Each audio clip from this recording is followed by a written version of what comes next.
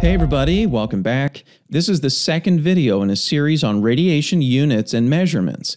In this lesson, we're talking about exposure and air kerma. Remember that all radiation measurements and diagnostic imaging fall into two categories. There's radiation in air, which includes exposure and air kerma, and radiation in tissue, which includes absorbed dose, equivalent dose, and effective dose. Exposure and air kerma are both very important in the context of occupational safety and patient safety. We'll start by talking about exposure, which is the traditional way of measuring radiation in air. To understand exposure, we have to understand ionization. When the X ray beam passes through air or any form of matter, it will interact with air molecules and knock electrons out of orbit.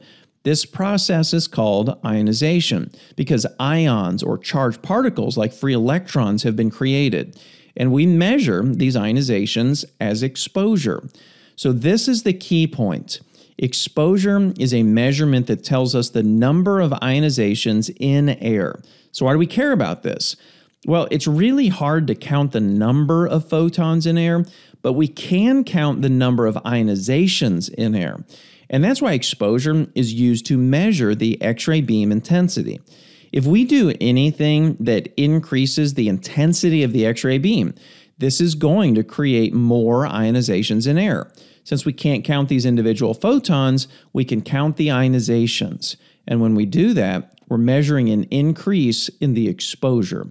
The number of ionizations is directly proportional to the number of photons in the X ray beam. So if the intensity increases, the number of ionizations increases, and the measured exposure also increases. So, what else should you know about exposure? Well, every measurement needs units. Length is measured in meters, time is measured in seconds, mass could be measured in kilograms, and exposure is measured in coulombs per kilogram. So, what does that even mean? A coulomb is actually a measure of charged particles, like the charged particles created through ionization. One coulomb is equal to 6.242 times 10 to the 18th ionizations. That's a huge number. Like the patient would literally die if they were exposed to a beam that was this intense. So, in medical imaging, it's much more common to see exposures in the range of like microcoulombs per kilogram, which is about a million times less than a full coulomb per kilogram. Here's another way of thinking about exposure and intensity. Imagine this box represents one kilogram of air. Exposure is the concentration of ionizations in air. Specifically, it's the number of ionizations in this box, the ionizations per kilogram of air.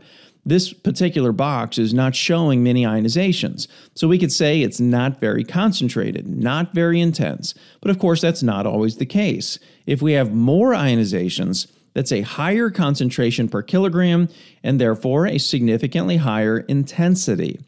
The measured exposure is actually affected in predictable ways by our prime exposure factors. We'll start with the MA. If we increase the MA, this is going to increase the number of photons in the X ray beam. When that happens, it increases the number of ionizations taking place in air, and we'll see this as an increase in the measured exposure.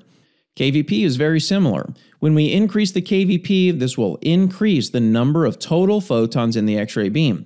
KVP is commonly associated with beam energy and penetrability, but it also has an enormous effect on the quantity of photons in the beam.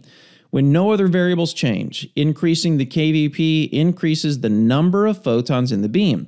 If that happens, it increases the number of ionization events taking place in air, and that will increase the measured exposure.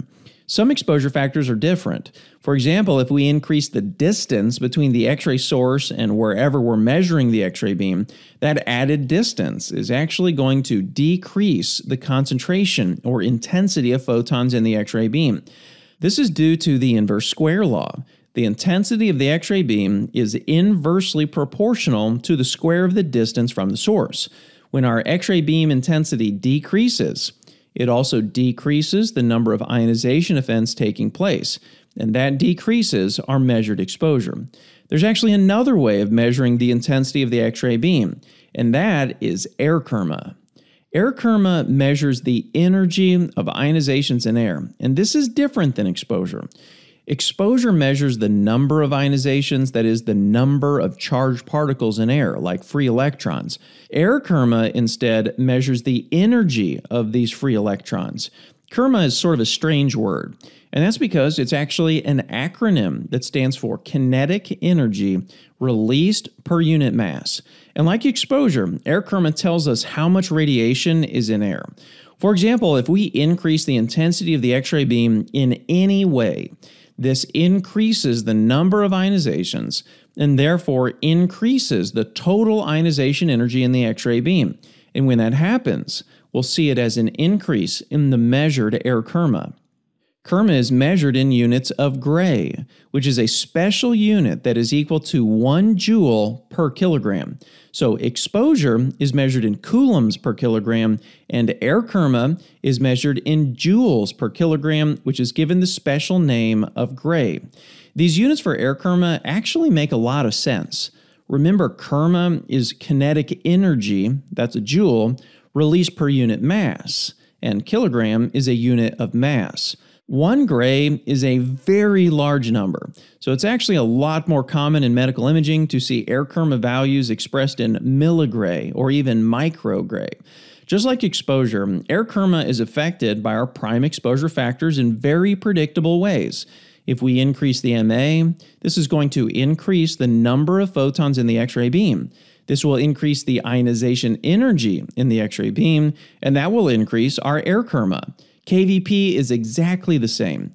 If we increase the KVP, this results in an increase in the number of photons in the beam. Yes, there's also an increase in the energy and penetrability, but there's an increase in the actual number of photons. That results in an increase in the amount of ionization energy in the X ray beam, and that increases our air kerma. Once again, the distance is different. If we increase the distance, this actually decreases the concentration of photons in the X ray beam.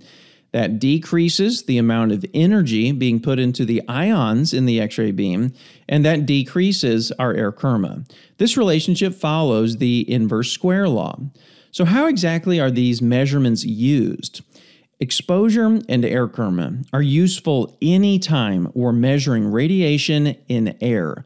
For example, you could use exposure and air kerma to test the radiation coming out of the X ray tube. You could also use exposure and air kerma to measure the amount of leakage radiation coming out of the X ray tube. And you could also use exposure and air kerma to measure scatter radiation. So, how are exposure and air kerma similar? Remember, both measure intensity, both measure radiation in air and both can be used to evaluate the tube output as well as leakage radiation and scatter radiation. But how are they different? Exposure measures only the number of ions created in air, but air kerma measures the energy of those ions. Exposure is measured in units of coulombs per kilogram or microcoulombs per kilogram, but air kerma is measured in units of gray or milligray or even microgray. If you enjoyed this video, I encourage you to visit cloverlearning.com and explore our robust selection of video based courses, certification exam prep question banks, and continuing education resources. Lastly, please remember to hit the like button, subscribe, and turn on notifications so you can stay up to date on our latest videos.